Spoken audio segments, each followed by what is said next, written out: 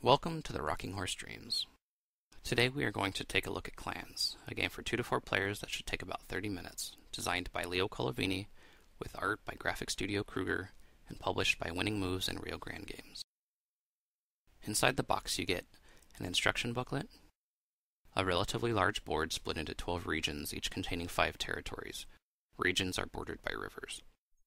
12 huts and one scoring marker in each of the 5 clan colors, 12 village chips, and 5 clan cards.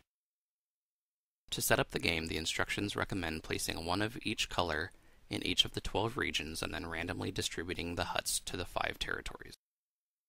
Shuffle the 5 clan cards and deal 1 to each player face down, discarding the remaining back to the box without looking at them. The cards will tell each player which color they will be playing as and should be kept secret. Next, place the village chips on the 12 spaces on the epoch chart on the right side of the board. Let's take a closer look at that. The epoch chart is broken into five epochs, four of five of which have a positive and negative scoring effect on villages formed in the epoch. The first epoch, which is the first four villages formed, scores one additional point if formed in the forest and doesn't score at all if formed in the mountains. The second epoch scores an additional two points for villages formed in the mountains and none for ones formed in the plains. The third scores an additional three points for villages formed in the steppe or wheatfield as we call it, and none for the forest. The fourth scores an additional four points for villages formed in the plains and none for the steppe. The fifth epoch scores five points no matter which territory it is formed in. Finally, place the score markers below the one on the score track and play is ready to begin.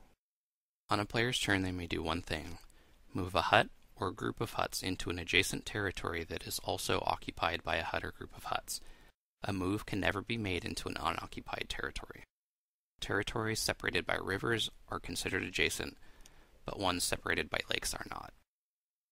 Also, when a group of huts reaches seven, it can no longer move unless it is next to another group of seven huts, and both are surrounded by unoccupied territories, then a player may move one group into the other. A village is formed when a group of huts is surrounded by unoccupied territories. When this happens, the player who caused it takes the topmost village chip from the epoch chart and that comes into play as endgame scoring. The village then scores. If on a player's turn they form two villages or more, they determine the scoring order and will take one chip per village. Let's go a little further into how villages score. The value of the village is the number of huts in the village plus any epoch bonuses. Each color present then scores the full value no matter how many huts they have present. This village scores an Epoch 1, which gives a bonus 1 point to villages formed on forests. The player who formed the village takes the chip and then scores the village. Red, yellow, blue, and green will score 1 point for each hut present, plus the Epoch bonus of 1, so each of these colors will score 7. When forming villages, the clans remain peaceful unless all five clans are present. In that case, any clan which has only one hut in the village is eliminated from the village before scoring. In this village there are six huts, but all five clans are present, so the clans with only one hut present are kicked out, leaving two huts, plus the Epoch 1 bonus for forming a village in a forest, so red scores 3 points. If a village is formed on the negative territory of the current epoch, it doesn't score at all, but the player who formed the village still gets the village chip. Play continues like this players taking it in turn moving huts into adjacent occupied territories and forming villages, until either all 12 village chips are taken, in which case the last village formed will score a bonus 5 points regardless of the territory, or there are no more legal moves, in which case the remaining village chips are left unclaimed.